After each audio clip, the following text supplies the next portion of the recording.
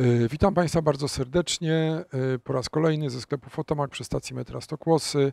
Y, chciałem dzisiaj powiedzieć słów kilka o nowym numerze kwartalnika Szkoła Nawigatorów. Przede wszystkim chciałem przeprosić za to, że ukazało się z opóźnieniem, ale mieliśmy no, dużo różnych rzeczy na głowie.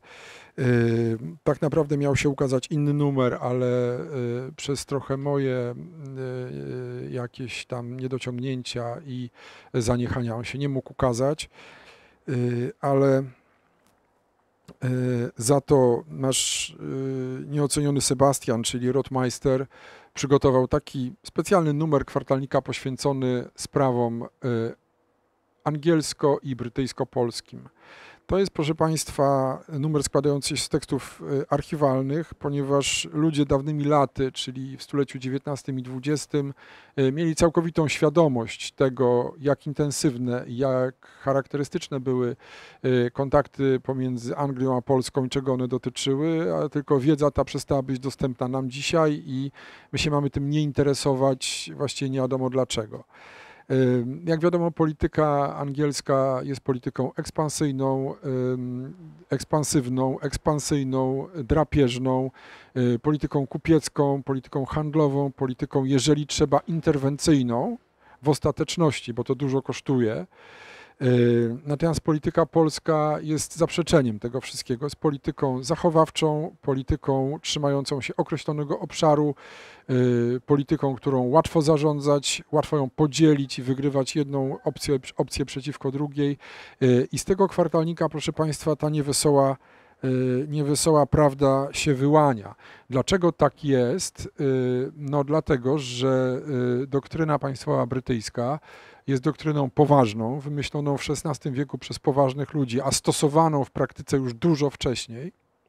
Ja tylko chciałem przypomnieć, że a propos relacji już nie polsko-brytyjskich, nie polsko-angielskich, tylko rusko-angielskich, że pierwszy, pierwszy kupiec, który na zlecenie króla Anglii Alfreda dotarł do miejsca, które dzisiaj jest Archangelskiem, e, to fakt ten miał miejsce w roku 890 w tych czasach, kiedy cała Europa zalana była dirhamami arabskimi. To y, Duńczycy na polecenie króla Anglii pływali już do Hołmogor, prawda, czyli nad morze, na Morze Białe się zapuszczali. A my dzisiaj słuchamy tego jak bajki o żelaznym wilku, proszę Państwa, bo nam się wydawało, że y, jak y, w Polsce rządził pogański władca ziemomysł, to nikt o nim nic nie wiedział i dopiero Mieszko, zdarte zasłonę i przyjmując chrzest pokazał światu, że oto jest. Y, to nieprawda. Natomiast ja wśród, przeczytam spis treści, a potem się odniosę do jednego konkretnego wydarzenia jednego konkretnego tekstu, z którym też wiążę jakieś plany. Proszę Państwa, spis treści, następujące artykuły.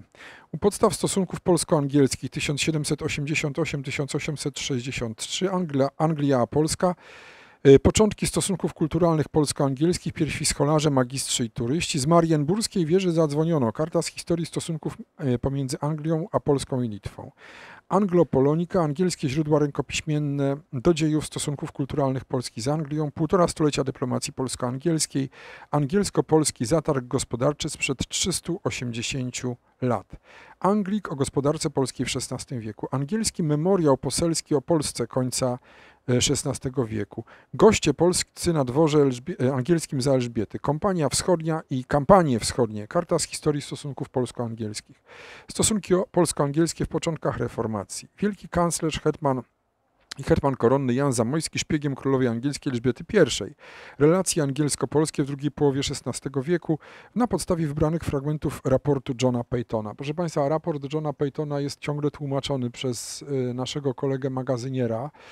Y, ja mam fragmenty tego raportu. Nie wiem, na ile Wacek jest zaawansowany w tej pracy, ponieważ ja nie mam y, ani możliwości, ani czasu, żeby y, dyscyplinować jego samego i no, sam bym raczej wymagał, żeby mnie ktoś dyscyplinował. Ale miejmy nadzieję, że ten pejton zostanie przetłumaczony w całości. Prześladowani katolicy angielscy i szkoccy w Polsce XVI wieku, Karol Lee w służbie Stanisława Augusta, Anglia wobec rozbiorów Polski, Anglia i sprawa wschodnia, dyplomacja angielska wobec odebrania Polsce dostępu do morza, wpływ i udział Anglików w tworzeniu wielkiego przemysłu na Górnym Śląsku. Proszę Państwa, same interesujące rzeczy. Ja bym chciał zaś odnieść się do tego tekstu z Marienburskiej Wieży Zadzwoniona. Autorem jest Wacław Borowy, który jest autorem wielu tekstów e, w tym numerze. E, Karta historii stosunków pomiędzy Anglią a Polską i Litwą. Proszę Państwa, chodzi o sławną wyprawę Henryka Lancaster, e, hrabiego Derby na Litwę to jest y, wielokrotnie już przeze mnie omawiana y, historia. Ona jest szalenie ważna z tego powodu, że y, to była kolejna, bo nie wierzę, że pierwsza i na pewno nie ostatnia próba wymuszenia monopolu handlowego na Bałtyku, wymuszenia monopolu na handel z Prusami, a co za tym idzie i z Rzeczpospolitą, przez Anglików. Pojawił się, proszę Państwa, nie byle kto, bo człowiek, który następnie został królem Anglii z nowej dynastii, dynastii Lancaster, e, i usiłował tę sprawę tutaj załatwić przy udziale krzyżaków. Tak? Przy udziale krzyżaków. Ja tutaj specjalnie poprosiłem kolegów, żeby oni zamieścili zdjęcia z filmu Krzyżacy, gdzie mamy Zbyszka z Bogdańca i Maćka z Bogdańca, y, bo jak Państwo pamiętacie, w początkach y, powieści Henryka Sienkiewicza Krzyżacy nasi bohaterowie opowiadają o tym, jak to walczyli w obronie Wilna przeciwko Anglikom. Nikt tego nie zauważa albo zauważa i zapomina, natomiast to nie byli byle jacy Anglicy, bo to byli ludzie hrabiego Derby, księcia Lancaster, Y, późniejszego y, króla Henryka Lancaster, hrabiego Derby, przepraszam, późniejszego króla Anglii. Więc są to, proszę Państwa, sprawy istotne. Oczywiście wokół tego pobytu Henryka Lancaster w Prusach i na Litwie narosło mnóstwo legend, y, mnóstwo historii. Pytanie, na ile one zostały sprokurowane przez samych Anglików, żeby ukryć fakt podstawowy, czyli klęskę tej wyprawy oraz y, niezałatwienie tutaj żadnych spraw y, ważnych. No, ale my dzisiaj mamy ludzi i autorów, i autorytety, i memy, które o, tych, y, o tej jakże poważnej sprawie mówią, że, że to w zasadzie nic nieznaczącego, że przyjechali tu jacyś goście zaproszeni z Anglii, że oni tutaj no, w zasadzie taką wycieczkę krajoznawczą sobie urządzili w połączeniu z polowaniem na Litwinów. Tak? Y, więc proszę Państwa, my się takim złudzeniem karmimy, że krzyżacy y, organizowali takie turnusy, tak? takie wycieczki z licencją na zabijanie, E, ściągali tutaj rycerzy z krajów zachodnich i ci rycerze przy, przybywali do Polski, następnie tutaj e, zasiadali przy tym wspólnym stole, który krzyżacy sobie wymyślili, żeby podnieść im samoocenę, pili, jedli, e, no były jakieś dziewczęta, a potem ruszali na wyprawę, a jak padało, to nie ruszali, tylko pozostawali przy tym stole. To jest, proszę Państwa, uwodzicielska wizja i nawet jeżeli ona tak rzeczywiście, jeżeli to wszystko rzeczywiście miało miejsce, to to nie zmienia faktu, że chodziło o zmonopolizację handlu bałtyckiego i o zmonopolizowanie towarów dostarczanych z interioru, czyli z Litwy i Korony, do portów pruskich. O to chodziło Henrykowi Lancaster. Nie o to, żeby się rozerwać i dobrze zabawić na tym zapomnianym przez, y, w tym zapomnianym przez Boga i ludzi kraju, tak? bo są ciekawsze miejsca. Tak? Ja też chciałbym zwrócić uwagę na jedną rzecz, proszę Państwa. To są mniej więcej te czasy, znaczy Henryk Lancaster to później, ale y, przed Henrykiem Lancaster Anglicy również byli obecni wśród krzyżaków. Anglicy również byli obecni w wyprawach na Polskę. W czasie bitwy pod Płowcami też znajdowali się w Wojsku Krzyżackim. Więc ta współpraca, proszę Państwa, była stała i dla Londynu istotna. Poza tym Wacław Borowy pisze tutaj coś, o czym wszyscy wiedzą, natomiast no, my jako dyletanci, amatorzy i ludzie niezorientowani nie mamy tej świadomości, a waga tej mm, informacji jest e, pomijana, deprecjonowana po prostu i generalnie nie, nie, nie, nie jest to nic ważnego. Proszę Państwa, zakon krzyżacki od początku swo, swojego istnienia w Prusach jest sponsorowany stałą subwencją przez koronę angielską. Jak powiedział wybitny mędrzec wschodu, Aleksander Gudzowaty, proszę Państwa, nie po to się płaci duże pieniądze ludziom, żeby ich nagradzać, tylko po to, żeby ich dyscyplinować. Więc jeżeli Londyn płaci wielkiemu mistrzowi roczną subwencję, to po to, żeby go dyscyplinować. Wszyscy wiedzą, jak brzmi po angielsku nazwa świerka. Spruce, tak? Y, no więc i skoro ona tak brzmi, to y, na pewno nie powstała w czasach bezwzględnej dominacji niemieckiej w Prusach. Ona musiała powstać, proszę Państwa, ta nazwa w tym momencie, kiedy w Prusach i portach pruskich mówiło się wyłącznie po polsku, bo to jest nazwa w języku polskim.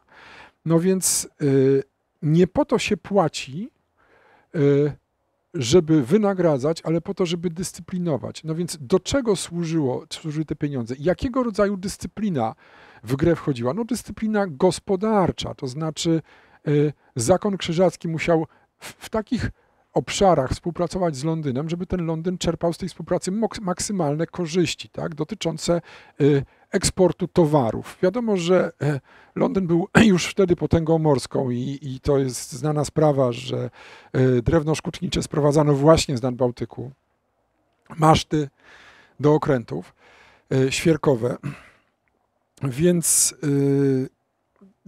no, nie ma o czym gadać. Współpraca pomiędzy Londynem a zakonem domu niemieckiego, zakonem Najświętszej Marii Panny jest stała, głęboka, i niezrozumiana. Niezrozumiana. Proszę Państwa, to jest złudzenie, jeszcze raz powtórzę, że y, to wszystko miało charakter y, młodzieńczych eskapad, tak? zakrapianych winem, miodem i krwią. To nie jest prawda. To były poważne, bardzo handlowo, eksploatacyjne i kolonialne przedsięwzięcia. Jeszcze chciałem zwrócić uwagę na to, że kiedy rozpoczynają się krucjaty zwane przez świat zachodni krucjatami północnymi, czyli wyprawy przeciwko Polsce i Litwie, e, w tym czasie Francuzi e, organizują ciągle e, krucjaty przeciwko Arabom. Tak?